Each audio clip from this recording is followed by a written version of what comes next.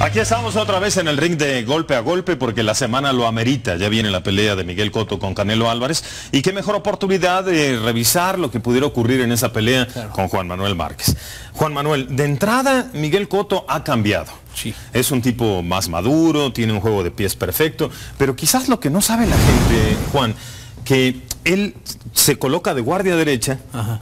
Pero él es zurdo, Juan. Él es zurdo y Canelo Álvarez ya lo ha declarado, que él sabe que, que Cotto es un peleador eh, zurdo convertido a derecho, que de repente te puede cambiar de, te puede cambiar de, de guardia. Por eso y la de estilo, potencia. Por eso la potencia del gancho de izquierda. Pero yo creo que cuando se le ha dado muy bien las cosas al peleador puertorriqueño, porque siempre lo vemos eh, combatiendo de la, de la guardia derecha, incluso en el ring el factor importante para él va a ser estarse moviendo, no pararse, como lo hizo con Maravilla Martínez los primeros episodios, estar usando el jab, mover la cintura, estar, estar usando un jab y que lo hace bastante bien. Muy bueno el muy, jab. Muy bueno, muy rápido, muy certero. Su mano izquierda. La mano izquierda, estamos hablando ¿Verdad? que era ese peleador zurdo. Manejar muy bien el jab, no pararse, tirar combinaciones de golpes y luego luego estar saliendo. Como lo hizo frente a Maravilla Martínez muy bien, trabajando los pasos laterales, moviendo la cintura, estar, estar llaveando, estar llaveando seguido y de repente esperar la respuesta de Canelo Álvarez y poder contragolpear.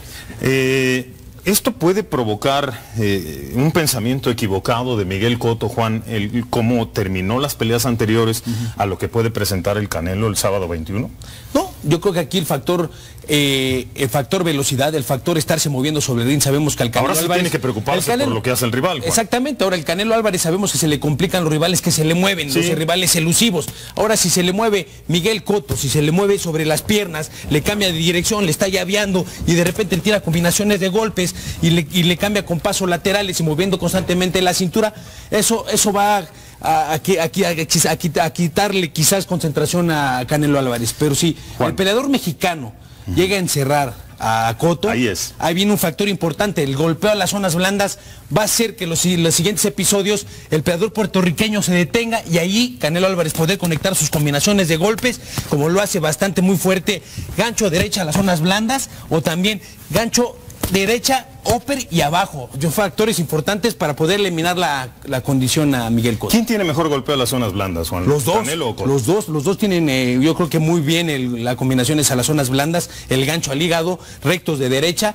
Aquí el factor va a ser La eh, lo- importante la también, creatividad, cómo, cómo empieces a ejercer la combinación de golpes. Puedes uno, puede ser uno, dos, upper derecha, bajando, o por qué no directamente uno, dos, gancho abajo, y luego, luego paso, paso lateral con movimiento de cintura, con derecha y gancho.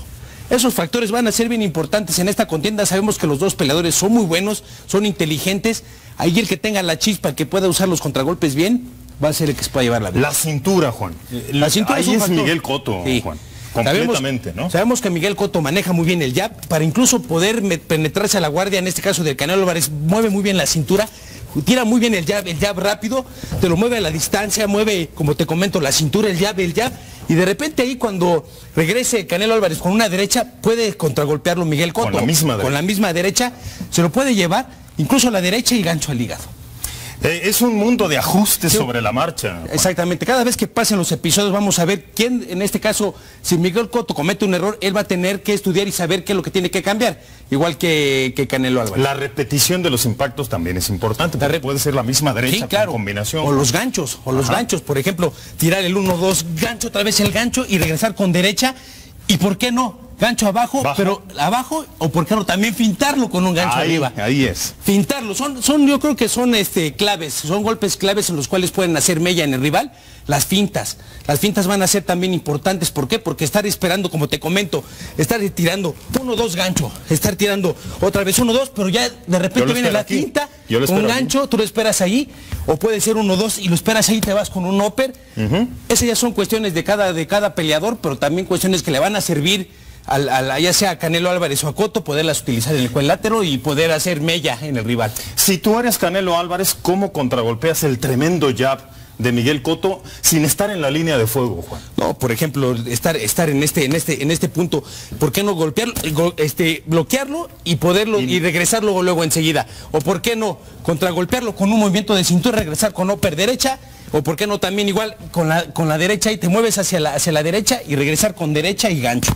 Pero rápido, Juan, Pero y tiene, moverse que, de ahí. tiene que ser rápido, pero yo creo que Canelo Álvarez tiene la habilidad, tiene el boxeo, tiene la técnica de poderlo hacer con ese movimiento que te digo, aquí o con el movimiento del otro lado ya para tirar un upper un upper con derecha o tirar un gancho con derecha, igual a las zonas blandas también. Y es muy rítmico, Miguel, Juan. Todo tiene que ir sobre las puntas y despacito y de repente es explosivo también. De repente es explosivo, es donde tiene que tener cuidado este, Canelo. Álvarez. ¿Por qué? Porque Coto maneja muy bien las piernas y de repente te cambia el ritmo de combate. Cuando, cuando entra a intercambiar golpes, aprieta y luego otra vez se sale y otra vez empieza a ver el ritmo.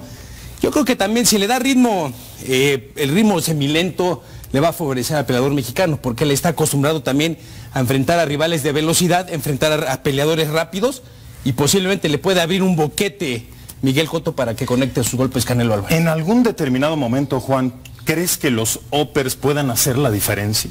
Yo creo que si los uppers pueden hacer la diferencia cuando se detenga. Porque el Canelo lo enseñó contra Austin Trout, se lo dejaba llegar y venía con el upper. Exactamente. En este caso eh, sabemos que Miguel Cotto no es un peleador que vaya frontal. Miguel Cotto va moviendo la cintura.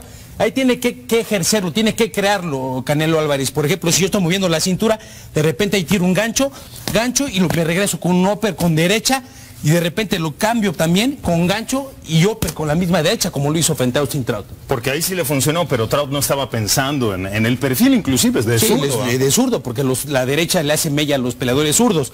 Ahora, si el Canelo Álvarez quiere hacer mella frente a Miguel Cotto, tiene que empezar las combinaciones con uno o dos gancho y terminando siempre a las zonas blandas para ir mermando la condición en este caso de Cotto. ¿No será muy predecible eso, Juan? No, no, yo creo que eso va a ir conforme pasen los episodios porque van a ser abajo. No, no, no, puede ser con otras con, otro tipo de combinaciones. siempre abajo terminando. Siempre abajo terminando. Puede ser uno dos upper abajo o uno dos gancho y gancho abajo, ir mermando al peleador puertorriqueño para que se pare y sea un factor importante para el peleador mexicano. Bueno, fue un buen ring.